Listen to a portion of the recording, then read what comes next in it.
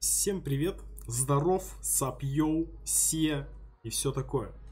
А, добро пожаловать в серию образовательных видео про NetRadiant, посвященных именно маппингу, именно для Quake и именно для тебя, для юного зрителя, который не особо в этом понимает, но очень хочет научиться. В общем-то, начнем. А, пер первое видео будет достаточно коротким, но относительно покажу вам, э, где скачать, как установить. Немножко пройдемся по основному интерфейсу. И на этом закончим. Далее будет интереснее. В общем-то, все ссылки будут, естественно, в описании. Не, не пугайтесь. Если э, у вас 64-битная, скачиваем, естественно, build. Не вот это, это для Linux. Хотя у кого Linux, окей, скачивайте. Мне как бы это, я ни в коем случае не запрещаю для 32-битных и для 64-битных, собственно, разрядных систем. Скачиваем, появляется у нас вот такой вот архив. Мы его успешно разархивируем. Быстренько. Так, хоп-хоп-хоп-хоп-хоп, все. Архив мы, естественно, можем удалить. Архив нам не нужен. И далее, что мы делаем? Открываем папку, появляется очень много неизвестных элементов, которые в, которых ничего страшного нету, пугаться не надо, все в порядке. А, сразу скажу, дополнительно к радианту я рекомендую настоятельно по ссылке, опять же, в описании, где скачать дефраг, скачать чистый Quake, точнее чистый дефраг. Никаких модов, никаких текстур, никаких карт туда ничего не засовывать, просто чтобы у вас был свой чистый дефраг. Вот. Для радианта. А, давайте я сразу свой тоже открою. Вот у меня Quake 3 Radiant, да, рядышком, видите, поместил отдельно и ничего меня не беспокоит. А, в общем, для Радианта работаем всегда с папкой Base Q3. папку Defrag ни в коем случае не залазим. Точнее, залазим, но не для Радианта. В общем-то, вот. Идем далее. Q3 пак. Q1 пак нам не нужен, потому что это для Q1. Логично, очевидно, все, забыли, можно даже его удалить, чтобы он нам не мешался. Кутрипак. Все вот это дело э, скидываем в папку Base Q3. После того, как мы это скинули, у нас э, есть как бы тут шейдеры, да, шейдер лист. И в этой папке, в, и вот этот pk3-шник, мы его тоже разархивируем в эту же папку. Там у нас появится основное это модели обычные, которые там порталы, всякие светильники и так далее. То есть, ну, мы это позже еще разберем. И основное это скрипты. Самое необходимое это list, э, Qt Shaders Copy for Radiant и Defi файл. Дефи файл мы отдельно создадим, это не проблема. Дефи файл, с дефи файлом отдельно потом разберемся, он сейчас не особо нужен.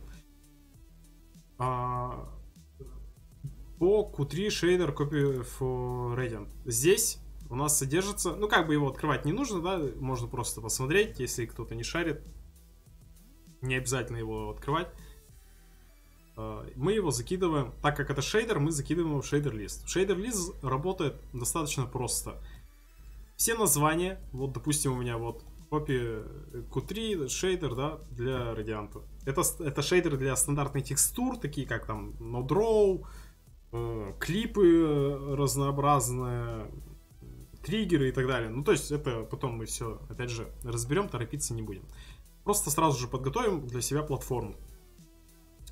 Э, шейдер-лист заполняется следующим образом. Просто берем, копируем название, этого шейдера. И желательно иметь э, так, такие настройки папок, чтобы каждую, кажд, расширение каждого файла было видно отдельно через точку. То есть у вас, возможно, просто написано без шейдера, я вам рекомендую настроить, это где-то в настройках папки, я, честно говоря, не помню, поэтому загуглите.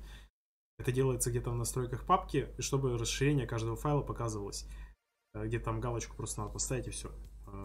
В общем, вот, скачиваем, точнее не скачиваем, копируем название, вставляем сюда в шейдер лист, который у нас там уже будет, когда вы все скинете в Base Q3. И все, ничего больше делать не надо. Сохранили, закрыли, все, у вас этот шейдер работает. Э, в целом, по-моему, все. То есть вот основные манипуляции, которые нам нужно сделать, это скинуть, это скинуть, разархивировать все, что необходимо там заменить, подготовить для себя шейдер лист с Qt Shader копи и все. Больше ничего мы делать не будем. Пока что. Пока что. Далее заходим в основную папку NetRadiant. И здесь ошибиться нельзя. В самом низу radiant.exe. В него мы заходим. У меня есть свой Radiant. Я чистый заходить не буду, поэтому я просто запущу свой. Так, консоль. Так, консоль у меня почему-то лагает. Ладно.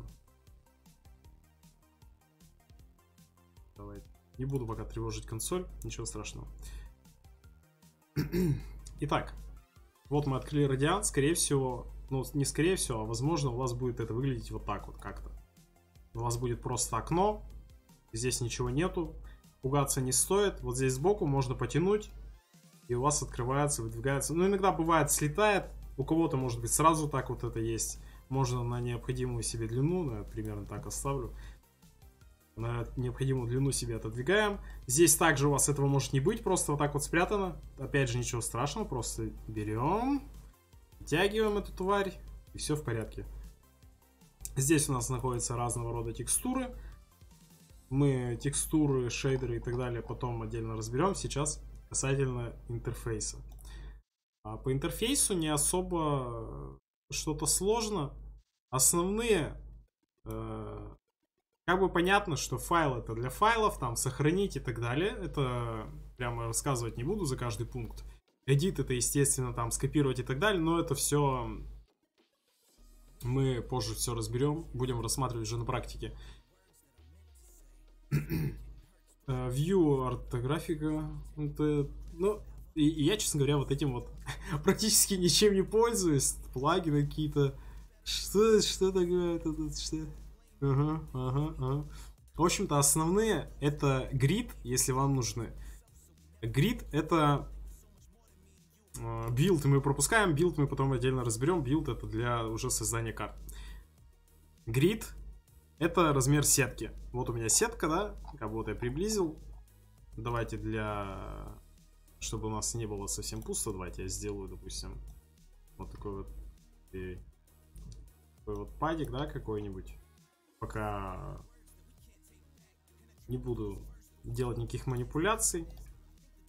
Вот у нас просто падик из э, вот такой такой текстуры, да, просто выделяем браш, нажимаем на текстуру, ну потом не торопимся, потом отдельно разберем. Добавляем Player Start, чтобы у нас просто было и все. Смотрим пока вот сюда. Грид это сетка.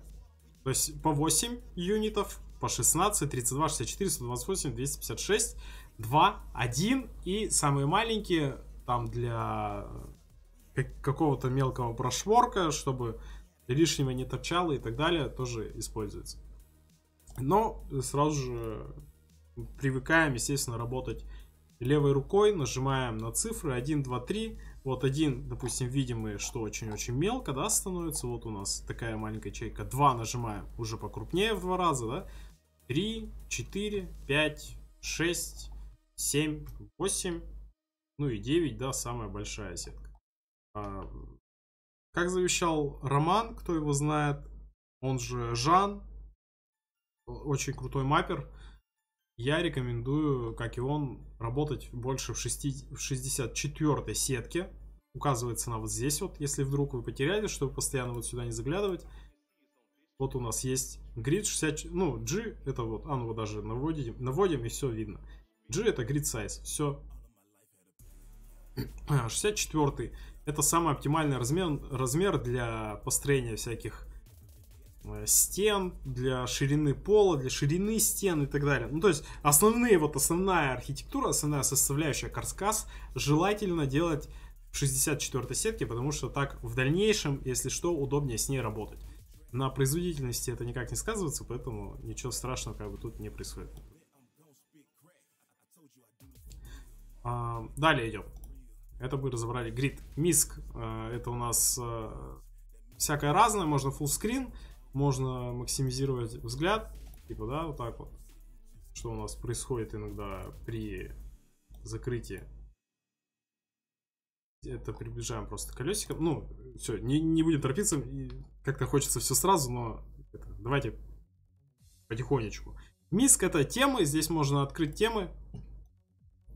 И, пожалуйста, любую себе выбрать. Очень много нам предлагает э, дядя Женя, да, он же Гарукс, Гаракс. На любой вкус, пожалуйста, любую выбираем. И все, я себе выбрал, какую мне поприятнее. Вы себе тоже можете выбрать сразу же, какая вам будет поприятнее для глаза. Браши, можно создать браши, то есть вот у нас, допустим, браш, да, но это все называется э, брашами. То есть вот браш, вот это браш, вот это браш. Создал вот это браш и так далее.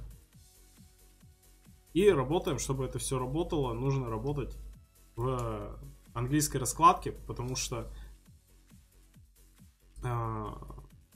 все горячие клавиши, все манипуляции с клавиатурой на русской раскладке работать не будут. Э, браш это, в общем-то, у нас... Вот это у нас преобразование. То есть вот у нас выделенная браш, к примеру, да? Которая правой кнопкой, если что, перемещаться по этому окну. Здесь мы нажимаем правую кнопку, у нас появляется прицельчик, мы здесь в ASD можем летать по этому. Также колесико может приближать, отдалять. Как-то можно было побыстрее, ну ладно. Вот здесь у нас, естественно, тоже все колесиком, либо вот этими вот язычками. В общем, вот у нас есть браш. Мы хотим сделать, ну, допустим, призму, да, выделенная браш у нас. Нажимаем, нажимаем на призму, выбираем сторон, к примеру, 8 появляется у нас вот такая вот фигура.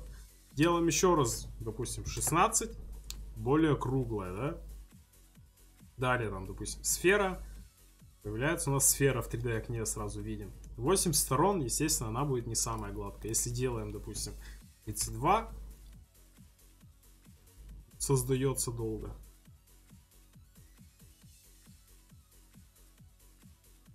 Зря я 32 сделал. Зря. Нет, нормально. Вот, у нас уже появляется вот такая вот сфера, которая, собственно, давайте... Ой, нет, давайте уберем ее. Ну, видите, ну, радиант, видите, нагружается очень сильно, когда такие детализированные объекты. В основном, конечно, работаем с четырехугольниками. Ничего в этом зазорного, как говорится, нету. При желании такие шары там можно по 16 делать, они тоже вполне себе адекватно выглядят. А, в общем-то, рок это, естественно, камень. Допустим, ну, не будем рисковать. Ой-ой-ой, у нас камнем стало. Ну-ка, камень, дай мне, ну-ка, камень мне, дай-ка 8 сторон. И дает. Ладно. Попробуйте, может быть у меня что-то сломалось, попробуйте сами. И... Э, как он называется? Икосахедрон. Я, возможно, в геометрии нубас, поэтому я не знаю этого слова, но тем не менее, видимо, такая вот фигура. Но они, на самом деле, это редко встречается в, прямо в маппинге, но если вдруг вам нужно, это будет полезно. Далее у нас, э, ну, здесь больше ничего такого необходимого для нас сейчас нету. Дальше идут курвы, создание курв, к примеру, bevel нам надо. Или вот end cap делаем. Видим мы, что вот здесь у нас появилось, но в 3D окне мы не видим. Поэтому мы нажимаем Ctrl-T, но мы еще отдельно это все разберем в текстурнике, я просто показываю, чтобы у вас запомнилось. Делаем, допустим, thickness. Ctrl-T это, стало быть, thickness, это толщина. Делаем, допустим, 16, и вот мы уже видим, что у нас появилась вот такая вот округлая штука.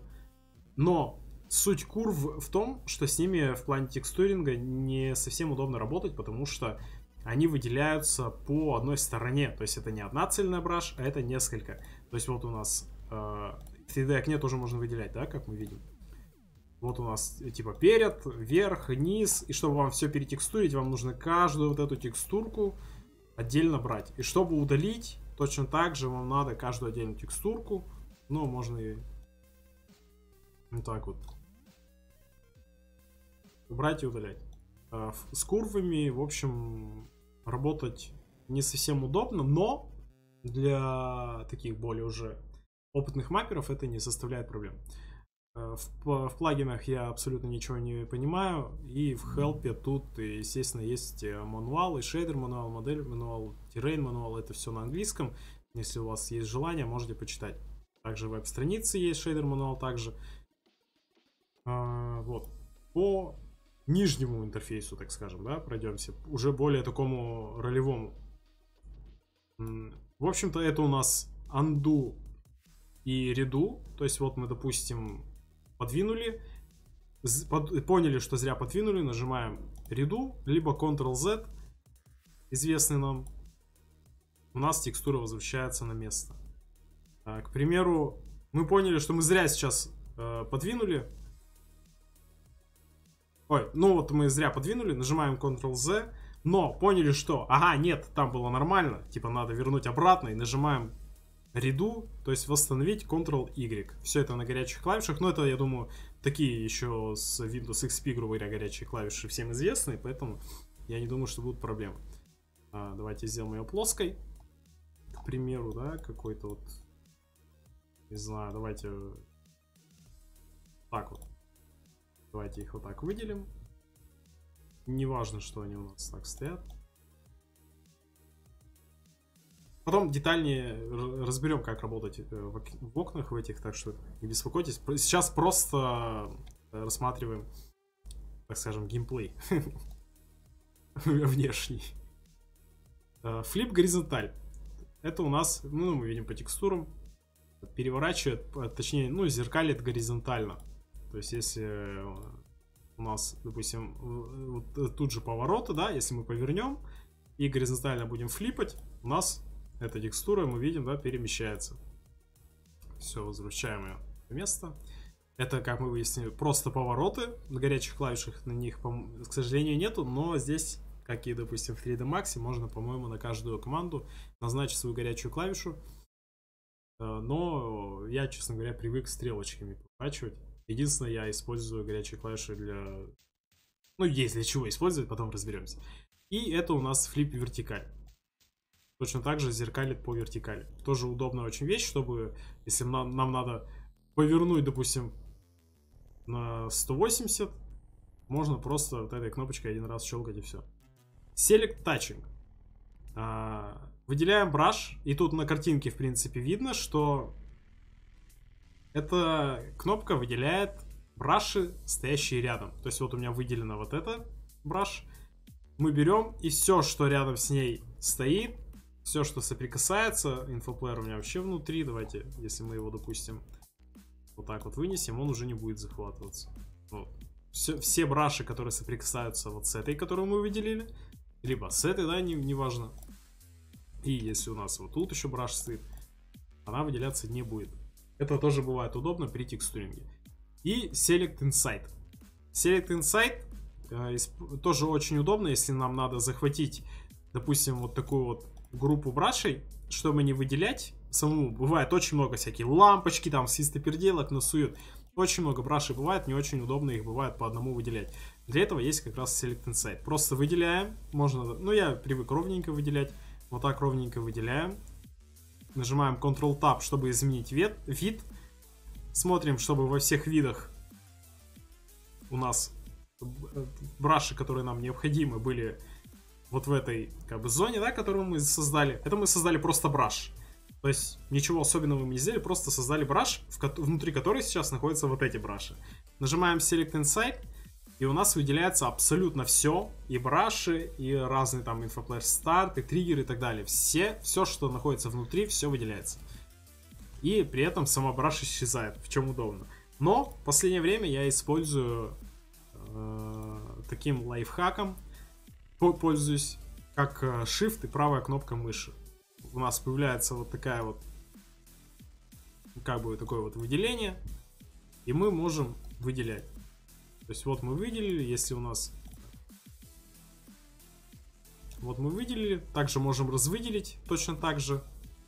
Если мы выделяем э, еще раз то, что выделено и то, что не выделено, как бы, да, вот мы видим, у нас выделяется другой объект. Грубо говоря, инверт э, выделения. Вот. Далее. Это у нас э, сабстракт. Это у нас врезание текстур.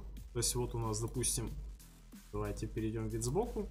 Вот мы хотим сделать, вот, вот, вот хотим врезать. Браш в браше никогда нельзя оставлять. Никогда. Иначе у вас карта забагуется, все будет плохо. Вот у нас браш в браше. Просто берем, нажимаем либо Shift-U, как мы видим, да? Либо нажимаем Substract. Я привык к Shift-U. Нажимаем Shift-U. Видим мы, что у нас в 2D окне вот здесь вот поделились браши. И теперь у нас здесь дырочка, которую мы можем наблюдать. Вот так это все легко работает. А, Мерш, я, честно говоря, ни разу не пользовался, не знаю, что это, что это делает. Поэтому не, не, в этом плане не совсем компетентен. Я, я в многих планах в, плане, в радианте некомпетентен, но мапить я вас научу. это, я, это я вам обещаю. Не волнуйтесь. Room это созда создание комнаты, допустим, для скайбоксов. Примеру, вот помещаем мы в браш, опять же, все, все, что нам нужно поместить в Skybox, к примеру, либо в комнату, да, может у вас комната какая-то, вы мапите. Нажимаем Room, и создается у нас, то есть сделается внутри полость. Э, внутри появляется пустое место, в котором у нас эти все объекты помещаются. Э, также, давайте сделаем Ctrl-Z. Также можно нажать, нажать на многоточие настройки. Здесь можно увеличить по сетке, либо уменьшить. Вот это у нас увеличивает. Это у нас уменьшает. Здесь можно выбрать грид, который вам нужно, да, допустим, там, не знаю, ну 64, к да, у вас по 64 будет увеличиваться. А, это у нас создание также комнаты, более красивенькой, да, как мы видим, такие вот диагональные углы получаются. Это у нас то же самое создание комнаты, но другие немножко другого вида. Это все очень бывает полезно в маппинге. Это у нас extrude face. А, это у нас э, создание комнаты, и чтобы снаружи вы выстраивались вот такие вот, ну, прямо торчали эти штуки. Но этим обычно я, честно говоря, не пользуюсь. И есть full face, это, я так понимаю... А, нет, не понимаю. Ладно. Но вот этими я, честно говоря, ни разу еще не пользовался. Мне не пригождалось. Это может быть кажется, что что-то важное, но мне и так норм. Не, давайте вернем, мало ли что. А, далее. Выдел... Выделить э, точки. Нажимаем на нее, либо В, и у нас выделяются, появляются вот такие вот точки, в, которые мы, с которыми мы можем манипулировать как-то подвинуть там. Видим мы в 3D окне, да, что происходит. Ну, мы в дальнейшем, опять же, в брашворке это все посмотрим. Это тоже все можно двигать. Но для... В основном для работы используется все-таки э, кнопка E. Это работа по ребрам, Edges. Здесь мы можем более точно манипулировать, нагибать, делать всякие рампы и так далее. То есть ну, лично для меня буква Е удобнее. А по точкам в основном работают с курвами, с какими-то трубами, если вы вдруг что-то гнете, да, там очень сложная такая манипуляция. И можно работать э, с фейсами. К примеру, вот мы видели верхний. Можем его опустить, либо вот этот сюда, да. Ну, это, с фейсами обычно мне, мне, честно говоря, не приходилось еще встречаться, поэтому такое. Change Views это как раз перемещение по трем осям, Ctrl-Tab. То есть вот я нажимаю, у меня меняется вид спереди, вид сбоку, вид сзади. Это для оптимизации кнопка. То есть если мы вот эту браш сейчас уберем куда-то далеко, вот она у нас, видите, скрывается. Это для оптимизации, чтобы у нас не отображалась вся карта. Если у вас что-то большое, что-то масштабное, эта кнопка вам поможет сэкономить ресурсы комп компьютера. А, далее, Translate это перемещение. Нажимаем кнопку V. Или кто уже работал в некоторых редакторах. Также появилась в окне у нас в 3D, да? Но обычно все манипуляции происходят в 2D окне вот в этом. Через кнопку V можем по одной оси, чтобы, мало ли у вас мышка очень чувствительная, чтобы у вас вверх не двигалась, просто по одной оси перемещать. Вверх, вниз, там, по бокам и так далее. Uh, rotate это у нас поворот. То есть можем, нажав кнопку R, либо сюда на кнопку, э, вращать текстуру. Э, далее у нас scale. Это увеличение, да, опять же по осям. Но, опять же, scale, э, как по мне, не особо юзабелен, потому что можно зажимаем прям вот сбоку просто где-то вот, да, сбоку вам надо вот это ребро подвинуть. Сбоку зажимаем левую кнопку мышки, двигаем. Ну, в следующем уроке я буду прямо показывать всю свою клавиатуру на экране и мышку, что я нажимаю, поэтому э, в дальнейшем будет проще, мы просто сейчас рассматриваем интерфейс, я вам просто объясняю. А, зажимаем и можем двигать спокойно. То есть вот вам, пожалуйста, отскейли. Если надо диагонально, вот, пожалуйста, за диагональ взяли. Ну, это, грубо говоря, передрочитесь, это ничего в этом сложного нет. Видим, вот, кстати, видим мы, что у нас немножко не по сетке пошло, да? Нажимаем Ctrl-G, и опа! Все по сетке. Все выровнялось, все хорошо. Ctrl-G это как бы выравнивание по сетке, это тоже очень важная фигня. А, клипер это вырезание, грубо говоря, по дереву, но нет. Допустим, нам надо, чтобы, допустим, не париться вот так делать, но не во всех случаях, да, либо вот нам надо обрезать, допустим, вот только вот отсюда по сюда к примеру. Мало ли какая карта. А, обязательно приучаемся работать также с, с эскейпом, потому что если вы, допустим, выделяли какие-то точки, потом Е отжали, нажали еще раз точнее, видите, у вас выделенная синяя осталась. И некоторые манипуляции в дальнейшем могут с ней производиться все равно.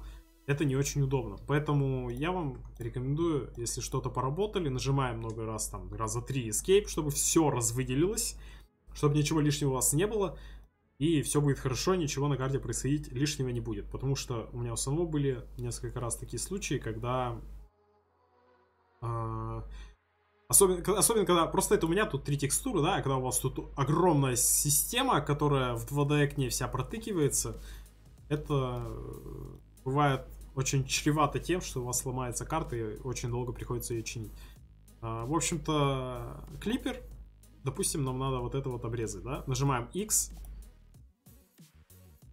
выделяем эти два места, и вот эта стрелочка, грубо говоря, палка, она будет показывать, в какую сторону обрезаться будет. То есть вот мы, допустим, обрезали, нажимаем Enter, у нас обрезалось. Если мы видим вот такую картину, что у нас палка в другую сторону, и э, если мы так обрезаем, то у нас остается только вот эта часть. Это, опять же, иногда бывает подбешивает. Я сам не до конца понимаю, как правильно это выстраивать, чтобы палка была в какую сторону, чтобы сразу нажимать, да. Убрал я, я нажимаю X, вот я выделил, понял, что мне это не надо, нажимаю X и все пропадает. Ничего страшного. Если у нас палка в ту сторону, но нам надо в эту, чтобы не перетыкивать, можно нажать Ctrl-Enter, и у нас инвертируется направление. Вот. А, Вроде так. Так, с этим я не, не работал. Текстур лог это чтобы текстуры у нас не, не перемещались вместе с брашей. То есть вот у нас на браше текстуры, например, да, возьмем кирпичик. Если мы уберем, то видите, мы перемещаем текстуру, точнее мы перемещаем браш, а текстура не перемещается с ней. В этом случае, если у нас, допустим, какой-то сложный текстуринг, к примеру, вот, вот давайте с дырочкой возьмем, да? Если мы будем перемещать браш, видите, у нас перемещается он э, как бы по осям текстуры. Это бывает, точнее не бывает, а в основном почти никогда неудобно. Поэтому нажимаем текстур лог, он у меня всегда стоит. И в этом случае у вас, э, ну, то есть вы построили браш, да, э, настроили текстуры, как вам надо, все, все сделали и чтобы у вас текстуры не съехали, потому что очень часто бывает, может, нужно их перемещать, вот всяко разно, да, вот мы подстроили, чтобы они не съехали, нажимаем текстур лог, но он у меня всегда включен, и в этом случае у вас текстура не уезжает. А, текстур Vertex Log я ни разу не использовал, но если что, его тоже, по-моему, можно включать, это ничего страшного.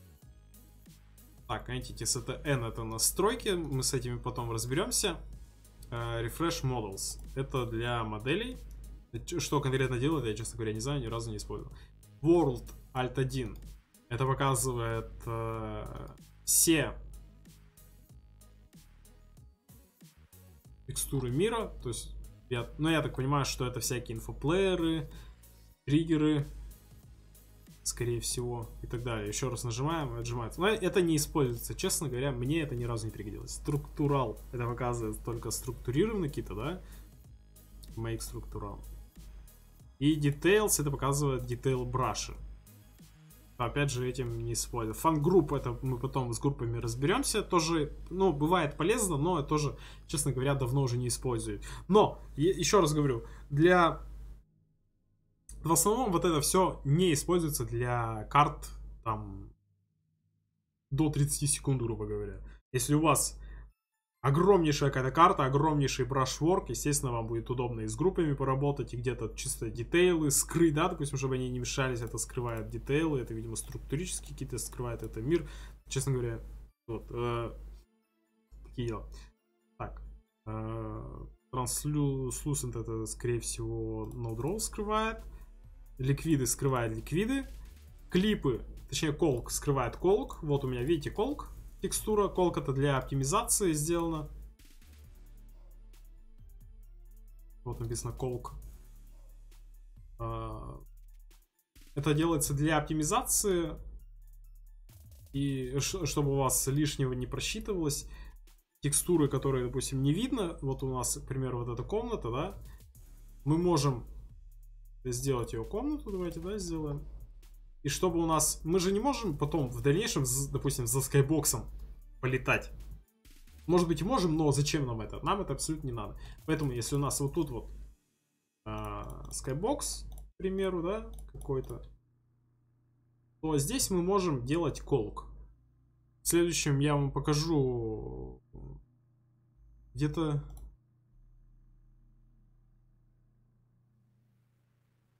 где-то есть просто ну вот make структурал это для браши, делать структурал. Где-то есть э, сделать... Чтобы создавались... Референсах, что ли? Чтобы каждая новая браш создавалась именно колком. Тогда вам просто надо будет протекстуривать то, что вам необходимо, и все. И тогда ничего э, колкить отдельно не надо будет. Ну, минимально, по крайней мере. А, клипы. Это скрывает клипы красненькое. Это хинты скрывает. С хинтами я не использовался, не встречался. Entity это скрывает Entity. Entity это всякие таргеты, инфоплееры, что-то еще. По-моему, ну вот все таргеты, да, их много в принципе. Это все скрывает. Чтобы, чтобы не мешалось просто. Это скрывает лайты, скрывает модели, Триггеры, это скрывает все триггеры. Но мы потом, естественно, при маппинге это все будем еще раз рассматривать. Uh, Reset Filters ни разу не использовал. Region Set Selection. Это, скорее всего, то, что у нас на виду. Это у нас скрывает. Нет? А, или это... А, это выделяет... Все, я понял, да. Мы выделили браш, нажимаем Region Set Selection и собственно, браш, которую мы выделили, она у нас одна остается, и с ней можно спокойно работать. Отжимается это дело правой, либо правой кнопкой, либо еще раз протыкиваем. И H это height. Э, это тоже, в принципе, полезно. Нажимаем на H, и текстура исчезает. Допустим, вот он... Мне вот надо вот... Ну, ну, ну вот надо мне... Вот, вот здесь вот, допустим, не знаю, ну вот поехала у меня как-то текстура. Надо мне зайти внутрь и что-то там сделать, какую-то лампочку, либо что-то врезать, вырезать и так далее. Для этого мы просто скрываем этот элемент, нажимаем H, либо здесь нажимаем H. И начинаем работать. Чтобы, рас, чтобы рас, раскрыть, как бы расхайдить, также есть, тут написано right click, э, ну, либо Shift H. Shift H нажимаем, у нас все появляется. Здесь у нас работы для всяких э, террейнов. Я, честно говоря, вот тут вот ни разу с этим, с патчами, ни с чем, с мэджами не работал. Поэтому за это не скажу. В общем-то, вот такой вот интерфейс. А, вроде бы из основного все. Попробуйте тоже, сами все потыкайте.